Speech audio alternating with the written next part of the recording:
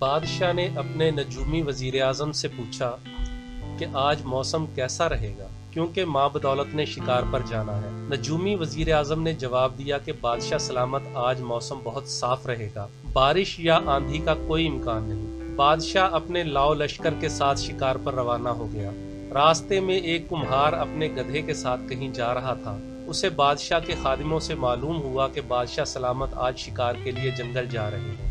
कुम्हार ने कहा कि आज तो बहुत तुंदो तेज तूफ़ान आने वाला है और साथ खौफनाक किस्म की बारिश आने वाली है। खादिमों ने कुम्हार की ये पेशियन गोई किसी तरह बादशाह के कानों तक पहुँचा दी। तो तोहम प्रस्त बादशाह ने कुम्हार को अपने सामने पेश करने का हुक्म दिया। कुम्हार को बादशाह के हुजूर पेश किया गया। उसने एक बार फिर अपनी पेशियन गोई उसी तरह दोहरा दी। बादशाह ने अपने वज़ीर आज़म की तरफ़ देखा। वज़ीर आज़म ने कहा, हुजूर, आप इस जाहिल की बात मत सुनिए। मेरा हिसाब कभी गलत नहीं हो सकता। बादशाह ने हुक्म दिया कि कुम्हार को कैद कर लिया जाए। अगर इसकी पेशन गोई दुरुस्त साबित हुई तो इसे आज़ाद करके वज़ीर आज़म को कैद खाने में डाल दिया जाएगा, वरना ये कैद रहेगा। उसके बाद बादशाह का काफिला दोबारा चल पड़ा। अभी जंगल के करीब ही पहुँच आसमान पर ऐसे स्याह बादल छा गए कि दिन के वक्त रात जैसा समा हो गया। सात मिनटों में एक जानब से तेज तूफ़ान आनंद फानन दरख्त उखाड़ने लगा। लश्कर तितर बितर होकर रह गया। अभी तूफ़ान जारी ही था कि मूसलाधार बारिश ने हर जानब जल थल कर दी बादशाह को रह रहकर अपने नजूमी वज़ीर आज़म पर गुस्सा आने लगा।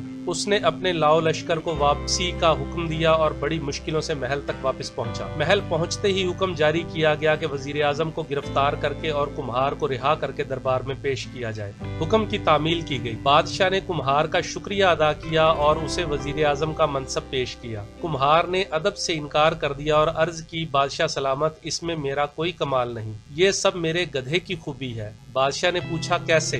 कुम्हार ने आजजी से कहा, हुजूर, मेरे गधे की खूबी ये है कि जिस रोज मौसम साफ़ रहने का इम्कान हो, उस रोज सुबह से ही मेरे गधे के कान बड़े चुस्त अंदाज से खड़े रहते हैं।